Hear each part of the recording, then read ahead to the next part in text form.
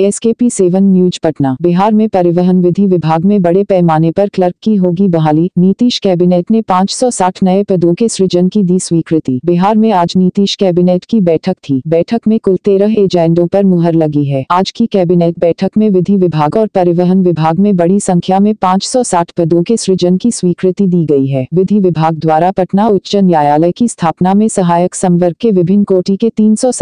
पदों के सृजन की स्वीकृति दी गयी है वही नीतीश कैबिनेट ने परिवहन विभाग में भी एक नए पदों के सृजन की स्वीकृति दी है परिवहन विभाग के क्षेत्रीय कार्यालयों में लिपिक एवं इससे संबंधित प्रोन्नति के एक पदों के अतिरिक्त एक पदों के सृजन को लेकर नीतीश कैबिनेट ने मुहर लगा दी है कैबिनेट बैठक में ट्रांसपोर्ट टैक्स भुगतान में छूट की मंजूरी ई रिक्शा को भी मिली है छूट अब तीस सितम्बर दो